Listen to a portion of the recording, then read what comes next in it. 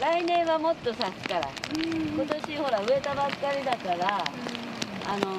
お花あんまり少ないけど来年はたくさん咲くから来年お花見に来た方がいいよ、ね、自分のさ植えた桜だから。ね。先週桜プロジェクトに取り組むハッピーロードネットの西本さんが話していたのは福島大学の4人の学生。このうち3人はイギリスドイツ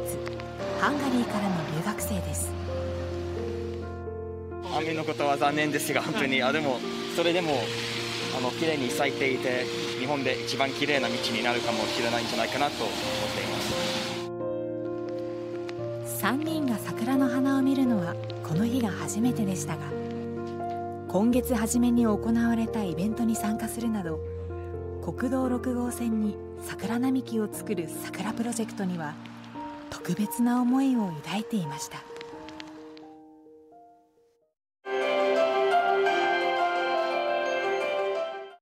30年後は桜が咲き誇っていますか？今あなたは誰と見ていますか？桜のように毎日一生懸命生きていますか？桜は綺麗に咲いていますか？50歳の私があの震災を知らない子供と桜を見ながら話していることを願っています。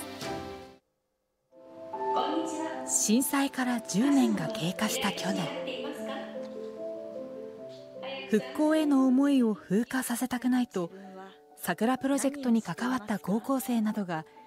30年後に向けたメッセージを動画と冊子にまとめて発信しました。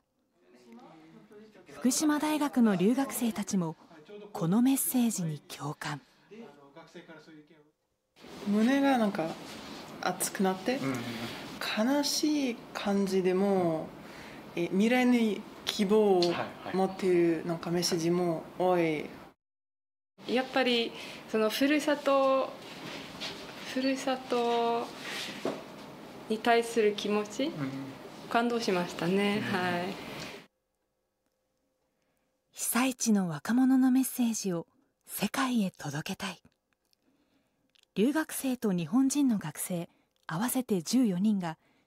メッセージを英語に翻訳しました。さらには動画も作成して SNS で世界に発信しています I have faith that the powerful and beautiful blooming cherry blossoms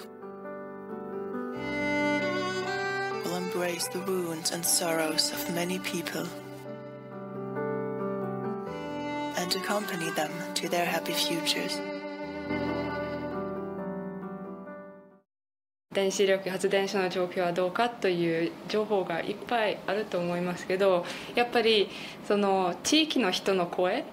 なかなか届かないですね、うん、まあ、日本人だけじゃなくて世界のみんなが見た方がいいと思いましたので。それを見てもう福島の人について考えたいと思います。国際的な尺度では最も深刻なレベル7に分類され